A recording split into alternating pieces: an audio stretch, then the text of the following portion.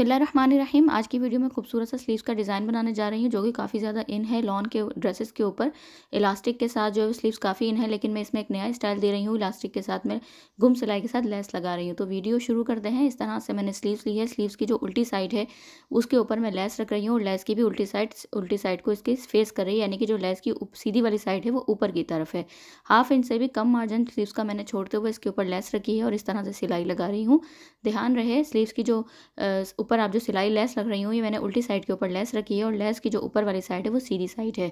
उल्टी साइड दोनों की एक दूसरे को फेस कर रही है। इस तरह सिलाई लगाने के बाद एक मैंने पट्टी ली है स्लीव्स की ही और उस तरह से दो इंच चौड़ी पट्टी है और लेंथ उसकी जो है वो जितनी ही, जितनी स्लीव्स की है तो उतनी ही इसकी लेंथ है। अब उसके बाद मैंने क्या किया है? सीधी वाली साइड मैंने रखी है इसके ऊपर लेस के ऊपर। यानी कि ये जो पट्टी ली है तो पट्टी की जो सीधी वाली साइड मैंने लेस के साथ रखी है और उल्टी वाइट साइड ऊपर है। लेकिन सिलाई मैं दूसरी साइड से लगा रही हूँ क्योंकि ये जो सिलाई लगाई है मैंने तो इस सिलाई के ऊपर ही सिलाई लगानी है। तो इसलिए मैं स्लीव वाली साइड से सिलाई लगा रही हूँ।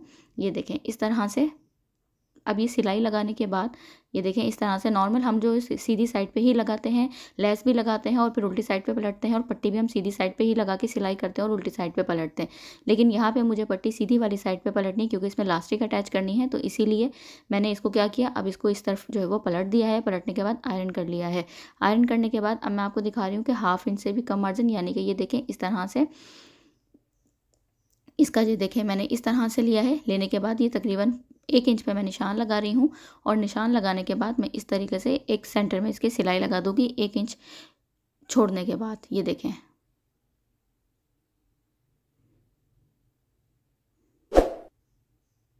ये देखें, इस तरह से मैंने ये सिलाई लगा दी है। आप चाहें तो अगर चौड़ी लास्टिक आपको अटैच करनी हो तो आप उससे ज़्यादा पट्टी चौड़ी ले सकते हैं, लेकिन मुझे पतली लास्टिक अटैच करनी है हाफ़ इंच से भी कम है ये। तो इस तरह से मुझे ये ये देख रहे हैं आप हाफ़ इंच से भी कम है। तो मुझे पतली लास्टिक अटैच कर रही हूँ तो इसलिए फिर मैं उस हिसाब से मैंने पट्टी ली है। अगर आपको एक इंच चौड़ी पट्टी इलास्टिक अटैच करनी हो तो आप उस हिसाब से तीन इंच जो है वो पट्टी ले लीजिएगा। ये जो फैब्रिक पट्टी मैंने ली है, उसके बाद मैं निशान लगा रही हूँ। बिल्कुल इस तरह से मैं सब निशान लगा लूँगी। निशान लगाने के बाद ये देखें इस तरीके से और उसके बाद जितने मैंने निशान लगाई है तो उसके बाद इस तरीके से ये देखें मैं इस तरह से इसको उसी निशान के ऊपर इसको सिलाई लगा दूँगी। अगर आपने स्टार्ट में एक दो निशान लगा लिए तो उसके बाद लॉन फैब्रिक में इतनी ज़्यादा परेशानी नहीं होती, उसी अंदाजे से खुद ब खुद फैब्रिक अंदर फोल्ड होता जाता है। तो इस तरह से, ये देखें मैंने इस तरह सिलाई लगा ली। इसके बाद मैं इसमें लास्टिक अटैच कर दूँगी। तो खूबसूरत सा जो है वो ये डिज़ाइन हमारा तैयार हो जाएगा, क्योंकि काफ़ी ज़्यादा लास्टिक स्लीव लॉन के ड्रेसेस के ऊपर बहुत ज़्यादा इन है, जैसा कि आप लोग देख रहे होंगे।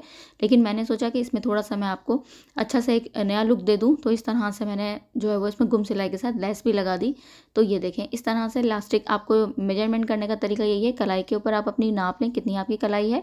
तो मैंने जो है वो ये देखें, आपने सात इंच ली है और सात इंच लेने के बाद, सात इंच यानी कि लंबी ली है और उसके बाद अब मैंने जो बीच में गैप छोड़ा हुआ है तो उस गैप के अंदर इसको मैं ले जाकर और इस तरीके से एक साइड से अंदर करूँगी, दूसरी साइड से निकाल दूँगी। तो ये देखें, इस तरह से मैं इसको पूरा कर दूँगी। चैनल पे अगर नए हैं तो ज़रूर ज़रूर ज़रूर सब्सक्राइब ज़रूर कीजिएगा।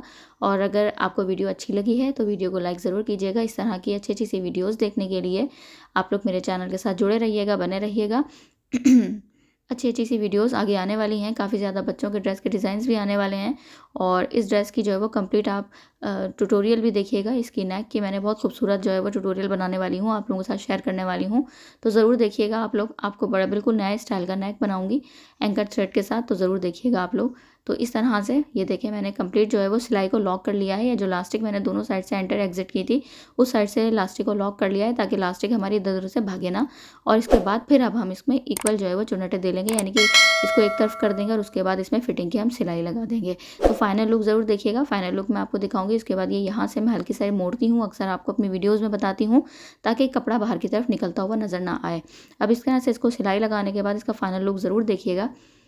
अच्छी अच्छी सी वीडियोस आपके साथ शेयर करने वाली हूँ। छोटी छोटी सी वीडियोस बनाई है ताकि ये कि आप लोग कम वक्त में अच्छी से अच्छी वीडियोस देख सकें और सीख सकें अच्छी अच्छी सी ड्रेसेस बनाएँ क्योंकि गर्मियाँ शदीद हुई हुई हैं और ये देखें, इस तरह से ये देखें आप उसका फाइनल लुक देखें कितना खूबसूरत लग रहा है।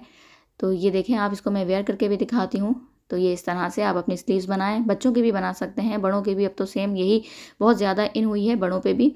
तो वीडियो को लाइक ज़रूर कीजिएगा। अगर आपको वीडियो अच्छी लगी है तो चैनल को सब्सक्राइब कीजिएगा। अगर आप चैनल पर मेरे नए हैं तो दुआओं में याद रखिएगा। अगली वीडियो में आप लोगों से कुछ नई वीडियो में, कुछ बिल्कुल स्टाइलिश सी वीडियो में आप लोगों से मुलाकात होगी। तब तक के लिए अपना ख्याल रखिएगा। अल्लाह हाफिज़।